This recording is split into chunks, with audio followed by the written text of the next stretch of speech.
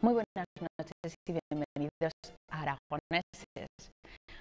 Un día como hoy, que ha estado marcado por el nerviosismo, por ese artefacto que ha explotado en el interior de la Basílica del Pilar, queremos acabarlo con una sonrisa, la que seguro que nos provoca el pregonero del Pilar de este año, el actor Jorge Asín, que ya nos acompaña. Muchas gracias por venir.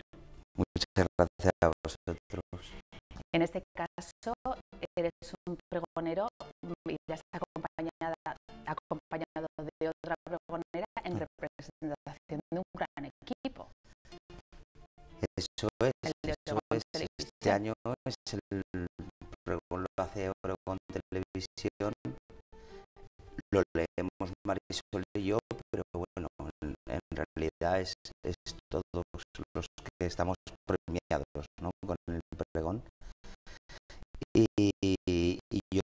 es la primera vez que, que pasa eso en, en el pregón de Zaragoza.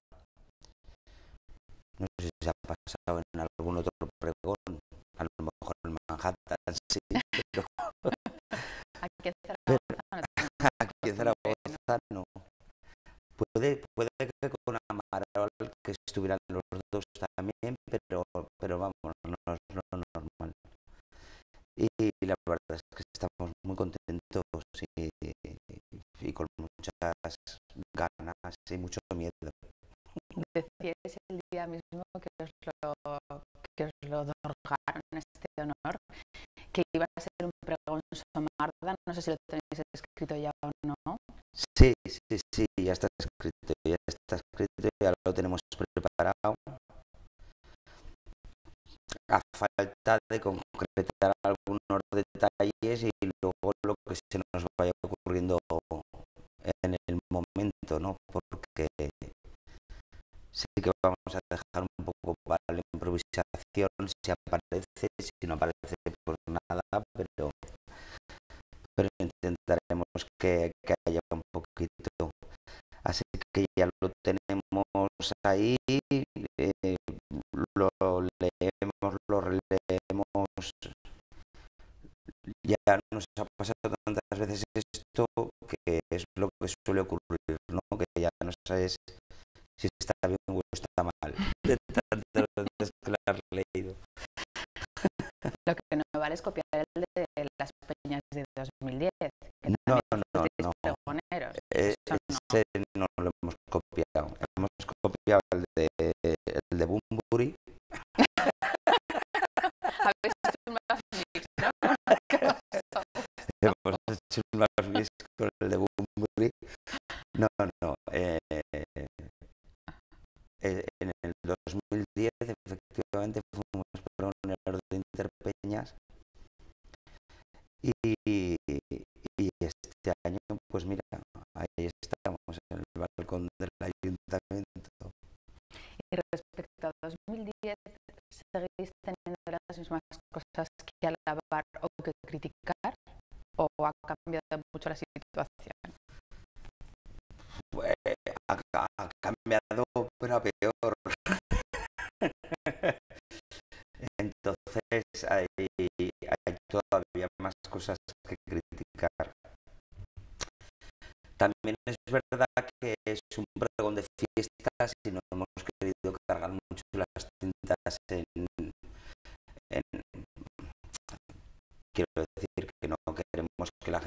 se vaya luego de fiesta cabizbajo de joder, qué mal rollo.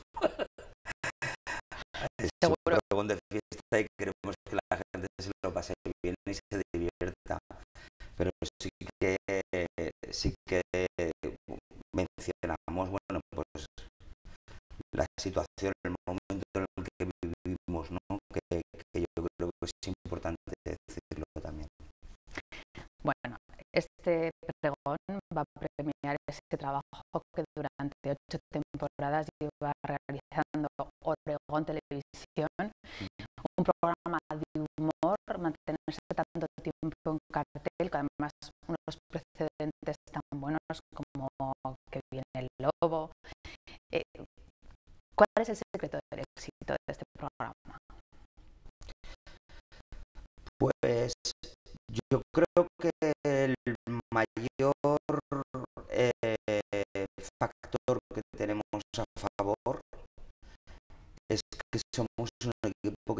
muchos años trabajando juntos y que a pesar de ello nos llevamos muy, muy, muy bien. Eh, nos lo pasamos muy bien juntos y yo creo que eso se transmite. Porque si no lo pasas bien haciendo humor es complicado que, que funcione. Entonces yo creo que el mayor, la, mayor clave para que Oregon Televisión funcione es eso. El que somos un grupo al fin y al cabo de, de profesionales, pero de, pero de amigos también. Y, trabajamos muy a gusto juntos, a pesar de que metemos muchas horas, pero lo hacemos muy a gusto y vamos muy contentos a trabajar todos los días. Y a los aragoneses nos gusta o nos cuesta mucho reírnos de nosotros mismos. Yo creo que cada vez menos.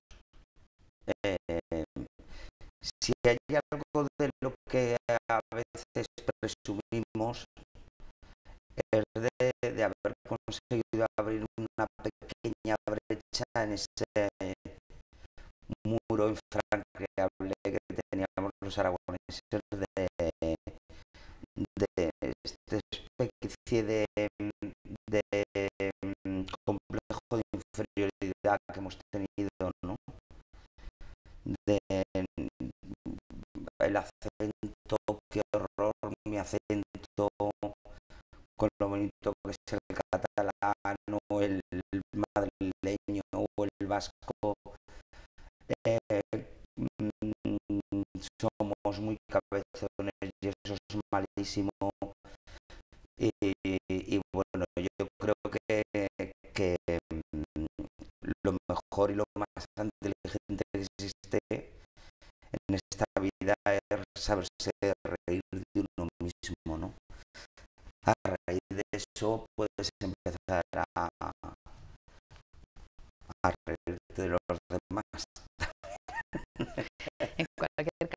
por ejemplo, comentabas otras comunidades, sí que es cierto que hay otras comunidades, por ejemplo, la vasca, en la que hay gran tradición de este tipo de programas de sketch en las que se ríen de ellos mismos. Sí.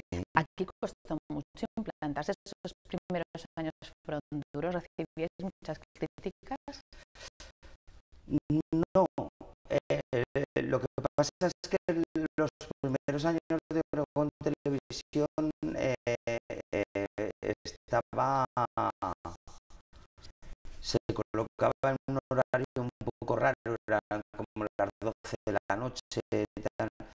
Entonces no, no, no nos veía tanta gente. Fue a raíz de, que empezara a funcionar eh, pues los, los YouTube, los, eh, los eh, Internet y estas cosas que la gente lo empezaba a ver en el ordenador y empezaba a funcionar.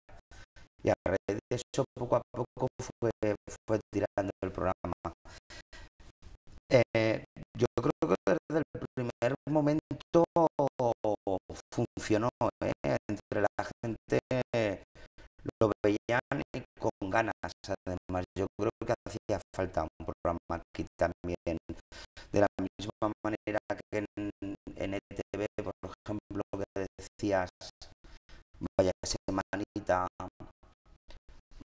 rompió moldes, ¿no? riéndose de los abertzales, de, de, pues yo creo aquí afortunadamente no tenemos eso, pero pero sí que también sirvió para romper moldes que teníamos aquí demasiado metidos en la cabeza. En este caso, además, eh, tú eres más culpable que otros del éxito porque aparte de protagonista, eres guionista. Sí. ¿Cómo haces ese trabajo de crear esos guiones con todos esos personajes, con todas Mm. esas secciones ya habituales? Pues em, nos juntamos todos los días, eh, Marisol y yo, con Samuel Zapatero, que es el tres eh, sacamos las ideas de, todos los sketches que va a haber en cuatro programas, porque grabamos cuatro programas en una semana. Em, una vez hecho eso, pues nos llevamos la mayor parte Marisol y yo para escribir y el resto tenemos de compañeros de guion a Luis Rabanaque, a Francisco Fraguas y a Alfonso Palomares que les damos las ideas y bueno, ellos la- las van desarrollando. En tu caso, no te voy a preguntar cuándo decidiste ser actor, pero lo que está claro es que tu vocación por el humor ya viene dada porque naciste en el típico día de juerga zaragozano, no una cinco marcada. Sí, ¿Cuándo el cinco- has pensado alguna vez en hacer un guiño a otro tipo de, de actuación o el humor es lo tuyo?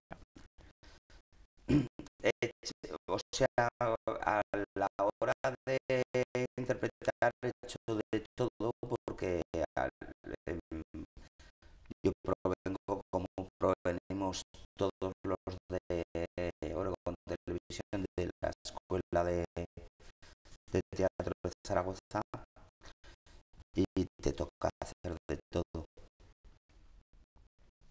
Incluso he rodado cortos en los que hacía papeles dramáticos.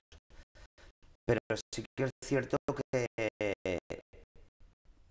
tanto como guionista, sobre todo como guionista, eh, me siento muy a gusto en el humor y como actor, eh, la verdad es que me, me siento también más a gusto. No sé, me parece que el es más, es más interesante para mi gusto, es más... eh, funciona como descargador de tensión, pero al mismo tiempo también se utiliza como arma, ¿no? A- un, un arma un poco arrojadiza en el que por decir cosas que de una manera seria no podrías decir. Por eso yo creo que me gusta más el humor que, que el drama. Y como actor también te consideras un privilegiado por llevar ocho temporadas eh, teniendo trabajo fijo y estable. Por supuesto, por supuesto, eso, eso sí que es un milagro. Em, en, en ese aspecto, nos ha dado mucho y, la productora en general, ¿no? Luego, luego media y ahora Zap, media, porque em, ha conseguido no solamente darnos trabajo, sino a raíz de lo que hablábamos antes, conseguir que ser profetas en nuestra tierra, cosa que es complicado. ser profeta aquí en Aragón es complicado. Y, y, a nosotros nos ha dado las dos cosas. Y la oportunidad de trabajar en lo que te gusta y, y- y todo eso, bueno, eso no tiene precio. Eso es lo Bueno, hablando en serio, porque veo que te gusta hablar en serio también, ¿no? Sí. ¿Cómo ves? Hay muchas quejas desde el punto de vista del mundo de la cultura, desde todos los colectivos, respecto a cómo está sufriendo la crisis precisamente de todos esos colectivos, el teatro, el cine, la televisión y sigues formando parte de todas ellas, ¿cómo lo ves? Es que yo creo que no, no se llega a entender muy bien por qué se toman estas medidas con la cultura, porque la cultura lamentablemente en este país no es que sea un factor que tú subes el IVA y de repente recaudas miles de millones, porque la gente no es mucho de, ir al cine, no es mucho de ir al teatro, no es mucho. Con lo cual, esa, esa, esa determinación de subir el IVA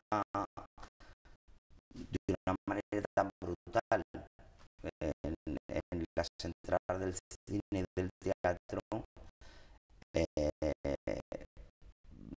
no, se entiende, no se entiende bien porque a las pruebas te por remitir de que luego efectivamente no ha sido una recaudación brutal la de la de IVA que se ha podido hacer con cultura. Yo creo que no favorece nada, no favorece nada a un país que, se cargue en tintas contra la cultura o contra el, I más D, como también se está haciendo. ¿no? Yo creo que es un error y es un error gordo porque se puede llegar a pagar caro. Porque un país sin cultura es, es complicado que avance. Y esto está empíricamente demostrado a lo largo de la historia.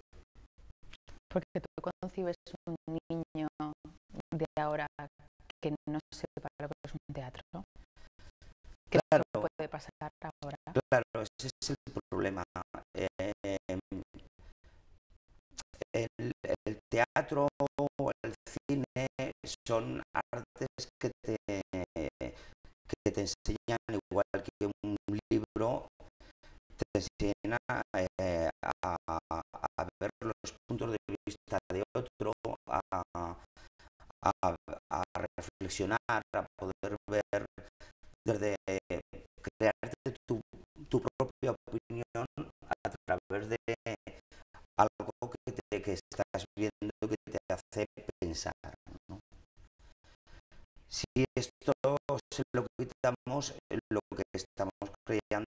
ciudadanos que no tienen esa oportunidad de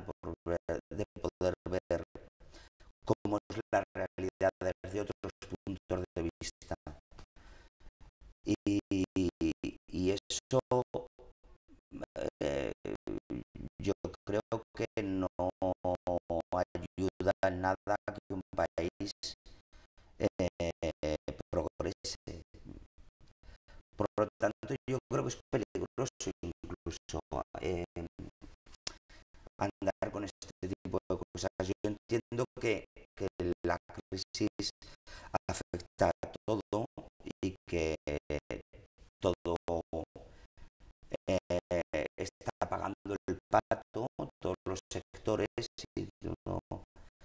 pero hay cosas en Estado, hay, un, casos y cosas en una en un país que, que se tienen que proteger y mucho porque corremos el riesgo de que si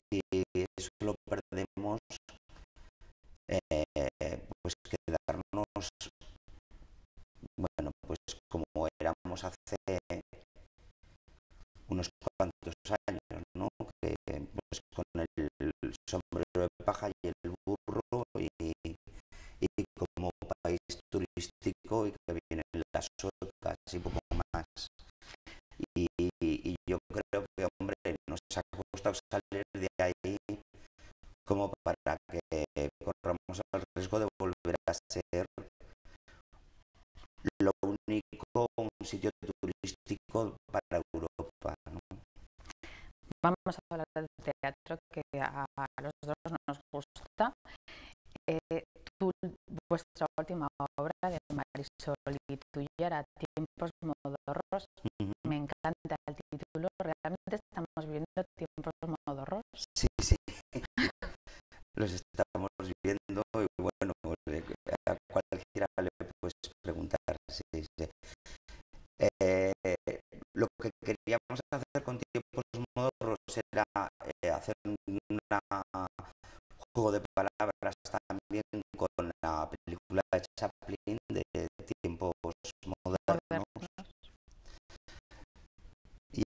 de eso hablar un poco de la crisis desde el, desde el humor. ¿no?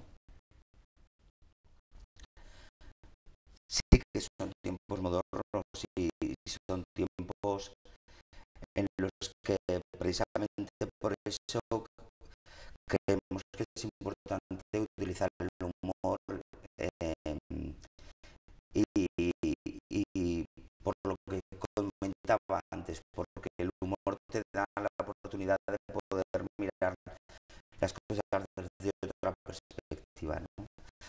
Por eso hicimos la obra de teatro también, porque dijimos, bueno, vamos a hacer una obra de teatro que hable sobre la crisis, pero a ver si conseguimos que aun hablando de la crisis, consigamos que la gente se vaya riéndose a casa. En este caso, además de representar en el teatro principal, por ejemplo, en Zaragoza, también habéis recorrido otras poblaciones de, de Sí, ¿Cómo se ha recibido esta obra? de maravilla, de maravilla. Aquí en Zaragoza hemos estado en el teatro principal, hemos estado en el teatro de las esquinas también. Eh, en todas las veces que hemos estado aquí de maravilla.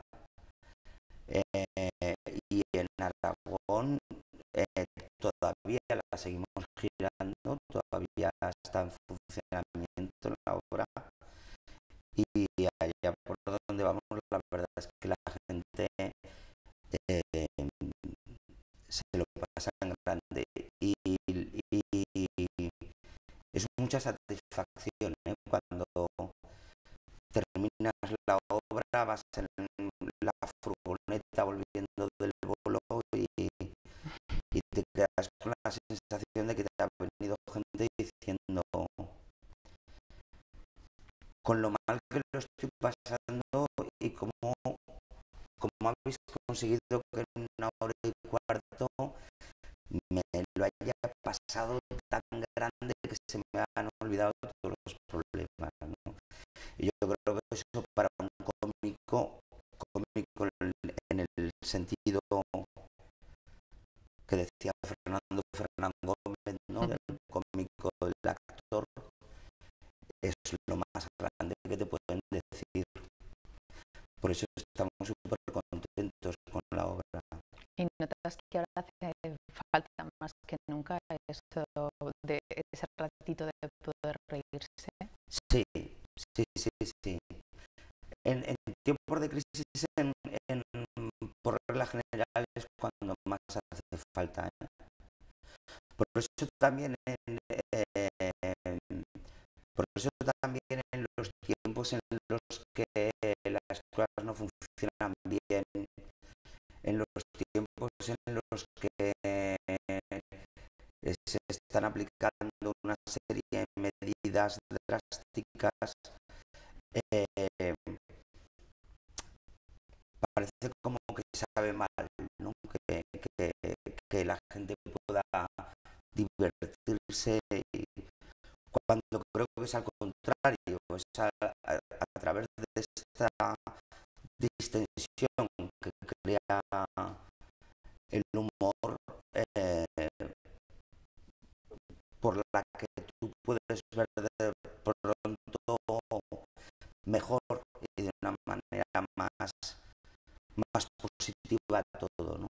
que como que descarga un poco, alivia y, y poder decir, bueno, pues me está pasando esto, pienso, no todo es tan grave en la vida, no hay cosas más, más terribles y seguro que puedo salir de aquí. Y esto hay veces que nos lo dicen y, y bueno, entonces ya no cabes por las puertas directamente. Bueno, ese contacto cercano no lo tienes con el cine, pero es una faceta que tampoco has abandonado, ser actor de cine. Sí. Estamos haciendo un repaso antes de empezar. Eh, lo, de lo último que has hecho, aparte de ese, el último Aragón es vivo, que como título me, me entenderás que hay que, hay que reseñarlo, que fuiste el último Aragón es vivo en ese cortometraje. Sí, También has estado participando en un videoclip con Jorge Nebra, que está ahora a punto de terminarse. Eh, y me parece muy interesante. Una película de Gaisca Orresti que está intentando recaudar, o sea, hacerse a base de crowdfunding. Es lo- sí. tenemos que ir a esos pequeños micromecenazgos para, para sacar adelante la cultura. Ahora sí, estado con este proyecto ya Gaisca ya lleva un tiempo, eh, Bendita Calamidad, que se llama la película, está basada en un libro de, Miguel Mena, que también se llama así, Bendita Calamidad. Eh, se desarrolla, es un es una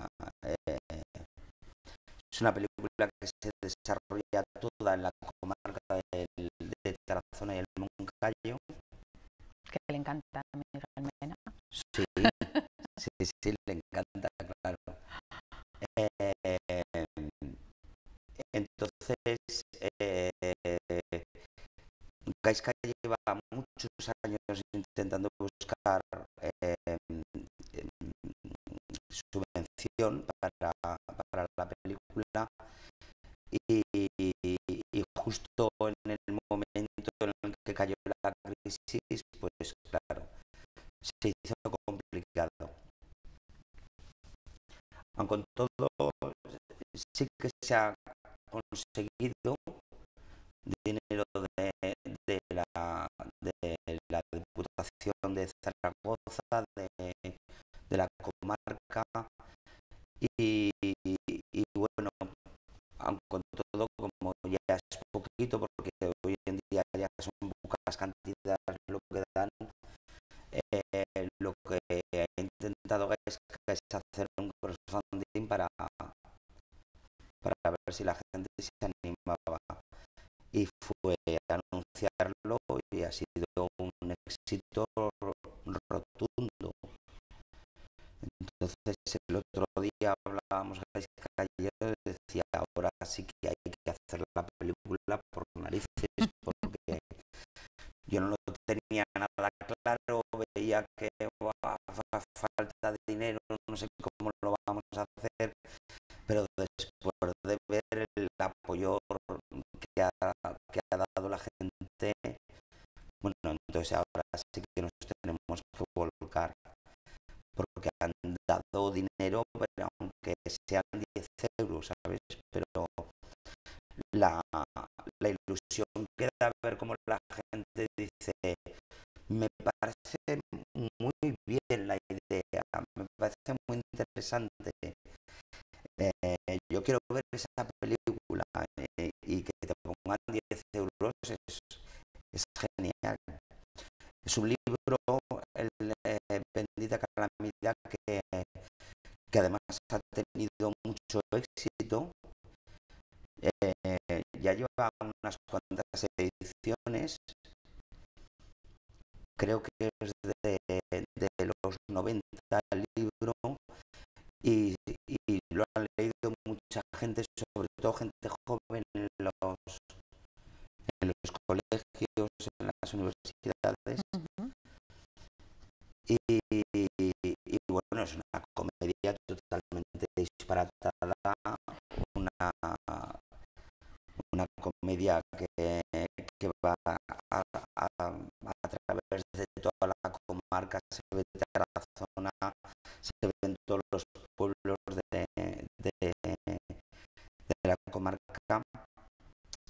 Y yo creo que, que es interesante que hacen una película desde Aragón con, con aragoneses y que sirva también como escaparate de, de un sitio tan bonito Tan como la, la comarca de Tarazona.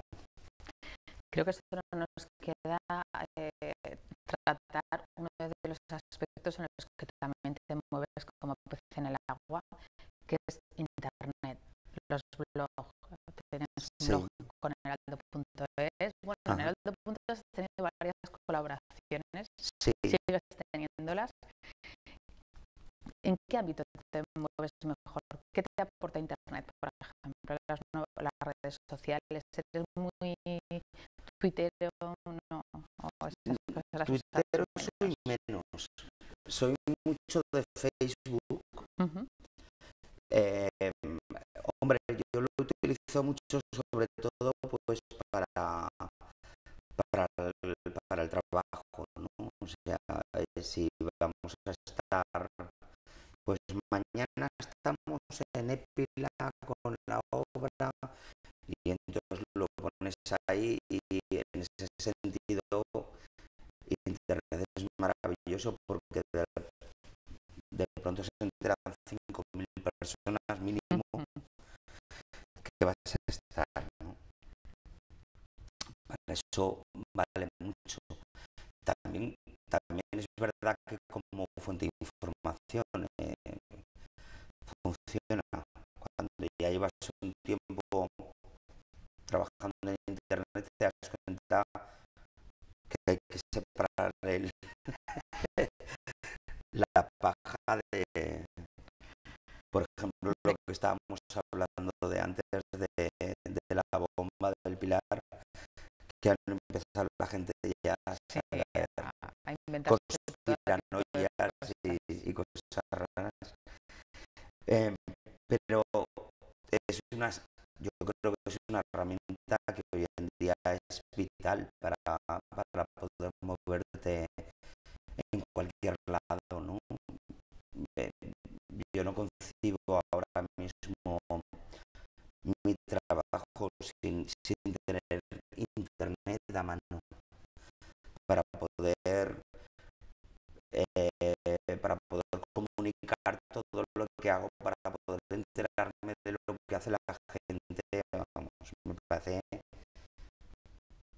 fundamental.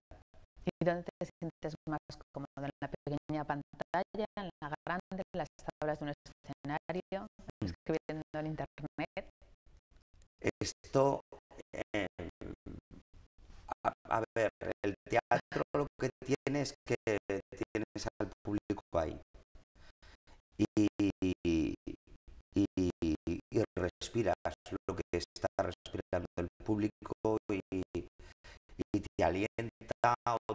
desanima y estás viendo lo que está pasando en ese momento.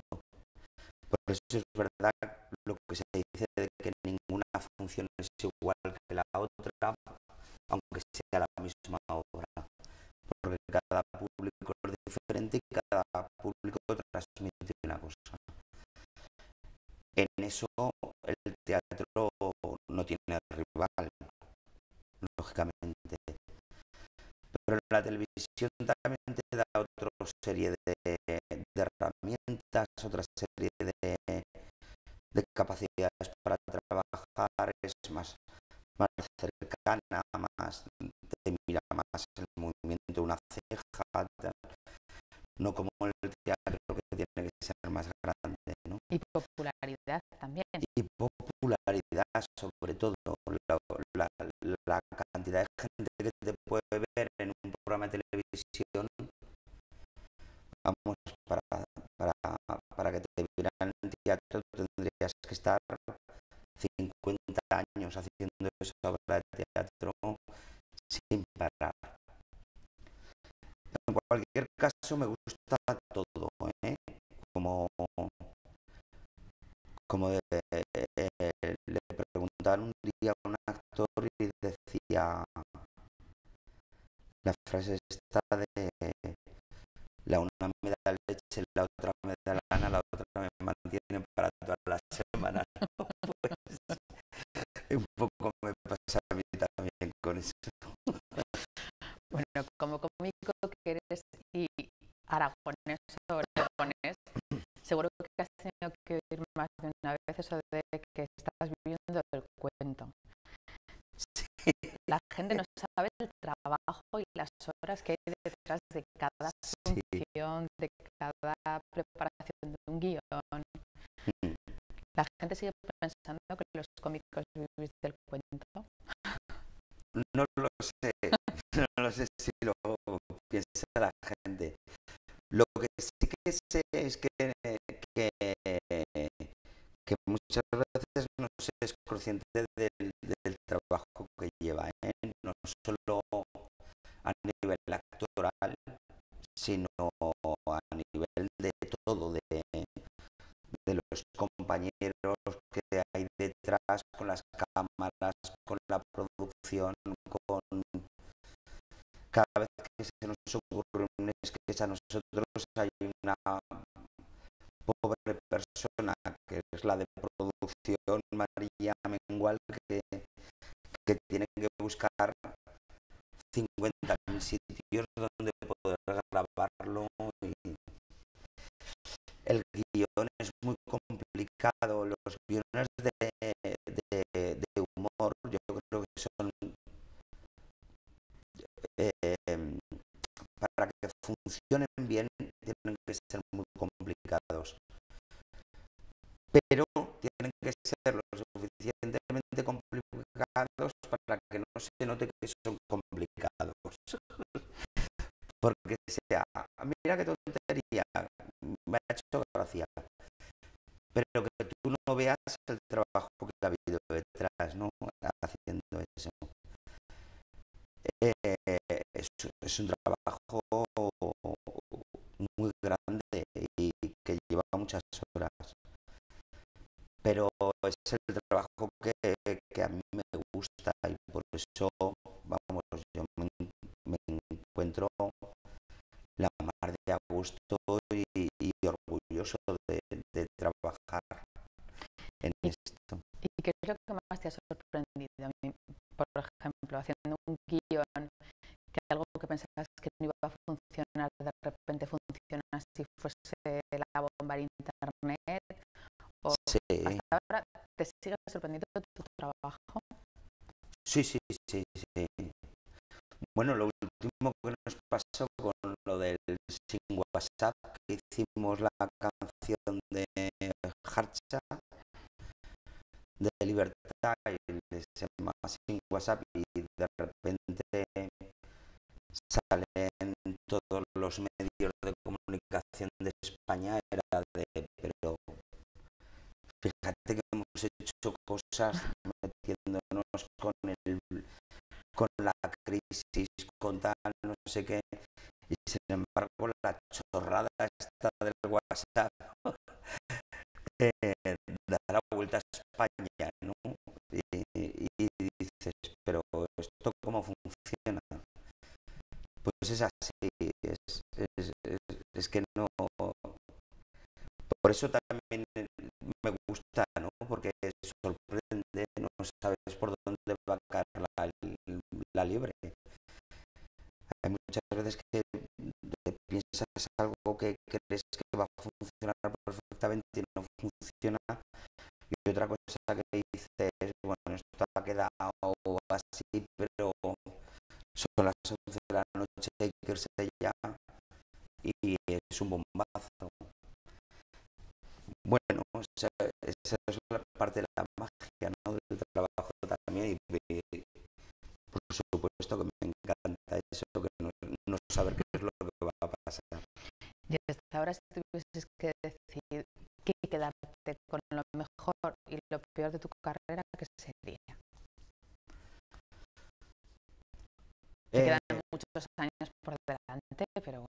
se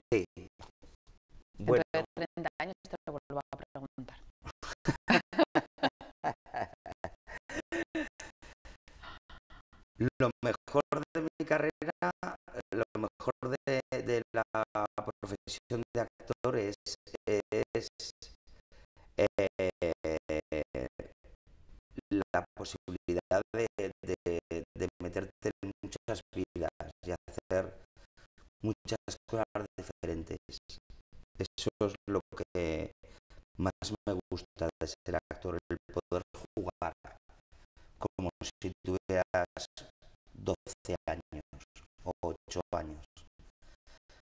Eh, soy policía y soy policía, soy asesino y soy asesino. Eso, esa libertad de poder meterte en diferentes personajes, ¿no? En la canción del pirata, eso es maravilloso. Lo peor de ser actor es la inestabilidad que tienes constantemente.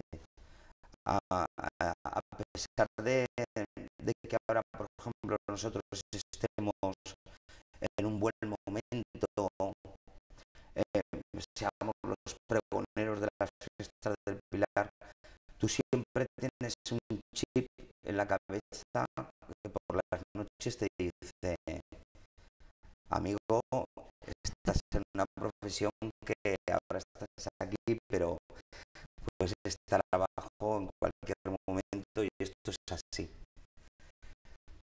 Y, y eso asusta. Fíjate, hace un-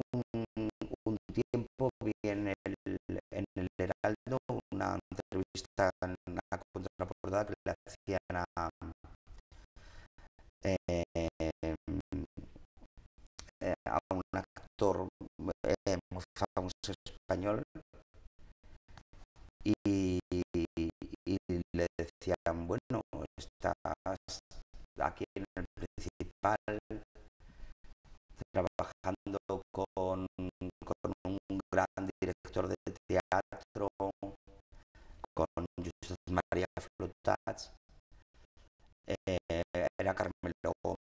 El actor, dice, eh, eh, estarás encantado, ¿no?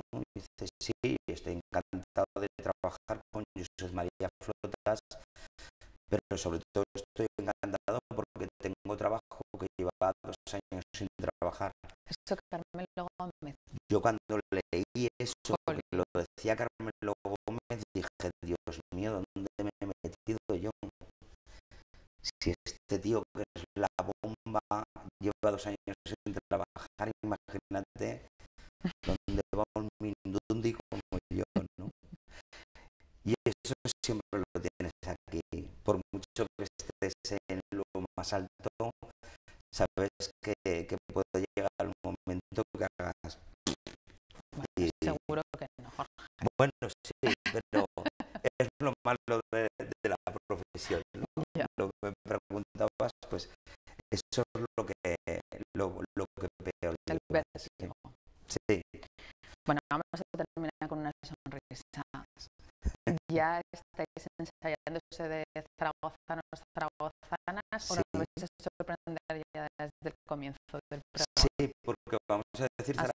zaragozanos, zaragozanos. Bueno, bueno, ese cambio lo podemos admitir.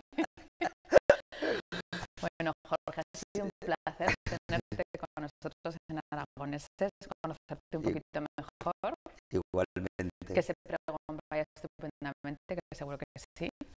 muchas gracias. Y nuestros espectadores ya saben que la próxima semana nos ponemos otra vez un poquito más serios con un nuevo programa de tribuna